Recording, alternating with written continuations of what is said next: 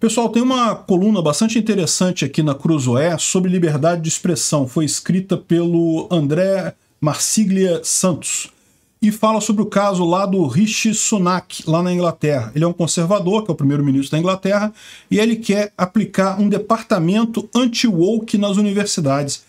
Vamos entender o que é isso aí, como é que isso fere a liberdade de expressão. Essa notícia foi sugerida por o Dedo Honesto Cortei Fora e várias outras pessoas. Obrigado aí ao pessoal que sugeriu a notícia, obrigado a você que está assistindo o nosso vídeo. Se você gosta do nosso conteúdo, por favor, deixe o seu like e se inscreva aqui no canal, né? Pois bem, olha que coisa, né? O Rishi Sunak, então, é um conservador lá na Inglaterra e ele resolveu fazer isso, ele resolveu criar é, uma, um grupo responsável por investigar a censura nas empresas, na, nas universidades inglesas. Isso é um problema mesmo, porque aqui no Brasil a gente sofre esse problema também, né? Já foi a época em que as universidades eram locais em que você discutia várias ideias e coisa e tal. Hoje em dia tem um monte de coisa que você não pode questionar. Qualquer coisa que seja dito em termos de teoria crítica racial e não sei o que lá, e com, mesmo comunismo e coisa e tal, você não pode questionar. Já teve vários casos de pessoal mais à direita, nem pessoas de direita mesmo, pessoas mais à direita que foram fazer palestras em universidades e foram impedidos de entrar, impedidos de fazer palestra. Né? A gente viu o caso recente aqui da UJ, é, UJ, UJL, que foi é, é, se apresentar lá numa Bienal da Uni e praticamente saiu de lá com, é, apanhando pelo pessoal comunista e coisa e tal, não deixaram o pessoal falar, é, criticaram pra caramba. O Fernando Holliday já tentou ir em universidade, foi proibido de falar em universidade. Eu acho isso um absurdo. Isso, isso é quebra de, de, eh, de, liberdade de expressão, né?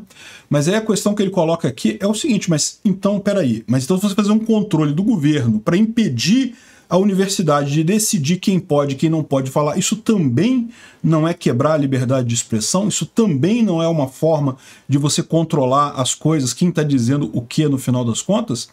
E de fato, né? Então ele fala aqui que você tem esses dois problemas. O problema é é viável censurar censores de liberdade de expressão e a liberdade de expressão deve reivindicar o direito de enfrentar os limites impostos por discursos igualitários, ou seja, ele está falando aqui da, da, questão da Inglaterra, mas evidentemente essa é uma questão aqui do Brasil também, né? Um departamento de liberdade acadêmica, como pretendido no Reino Unido, ou uma procuradoria da verdade, como instalada no Brasil pelo governo Lula, nada disso é saudável, né? Você não pode ter um cão de guarda para vigiar a liberdade. A liberdade ela tem que ser é, natural, né? ela tem que ser é, permitida de forma natural. E aí ele discorre aqui que acha um absurdo todas essas duas formas de você limitar a liberdade. Ele fala aquilo que eu já falei aqui, embora ele use outras palavras, que não, numa democracia, mesmo criticar a democracia deve ser permitido. É assim que você sabe que você está numa democracia. Se você não pode criticar a democracia, é porque você está numa ditadura, porque por definição o nome, dizer que você está, né, o país tem um nome de democracia, isso é trivial. Um monte de país tem, é, Cuba se diz uma democracia, Venezuela se diz uma democracia, Coreia do Norte se diz uma democracia. Como é que você sabe que está mesmo numa democracia? A China chama-se República República Popular Democrática da China e coisa e tal. Enfim, como é que você sabe que você está mesmo numa democracia? Porque você pode criticar ela. Você pode criticar o sistema que está ali. Se você não pode criticar, é porque você está numa ditadura. Então, essa, essa história que inventaram, que, ah, não, ah, você pode fazer as coisas, mas não pode criticar a democracia. Não, pode criticar a democracia. Pode criticar o STF, pode criticar os ministros do STF, pode criticar todo mundo. Não tem esse papo, não. Liberdade de expressão deveria ser absoluta, inclusive na ética libertária, né? E, inclusive, o governo ter esse negócio de censurar universidades ou de, de controlar universidades para não fazerem censura, isso não deixa de ser uma censura também, né? A universidade ela quer se posicionar, ela enquanto instituição, ela quer se colocar com uma opinião e você está dizendo que ela não pode, que ela tem que aceitar a opinião de todo mundo. Isso é censura também. Então, o ponto que eu coloco é, é, é esse. Por como que, como que você resolve isso, então, né? Na ética libertária é muito simples, né? O próprio mercado faz esse trabalho.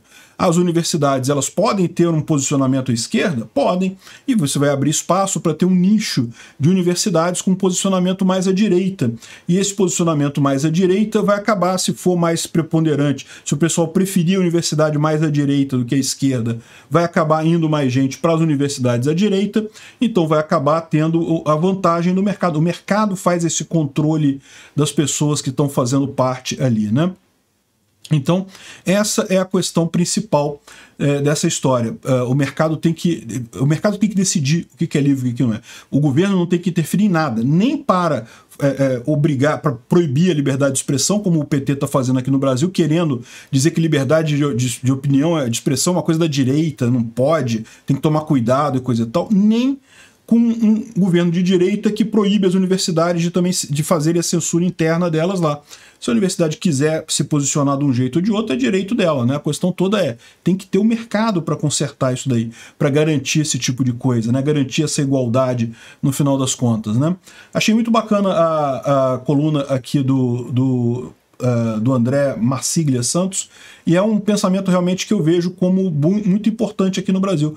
O pessoal tem que aprender o valor da liberdade de expressão por ela mesma, por, simplesmente porque se você não tem liberdade de expressão, você começa a ter problemas do tipo as pessoas começam a pensar determinadas coisas e nem falar aquela coisa, porque não pode, porque uh, tem a restrição da liberdade de expressão.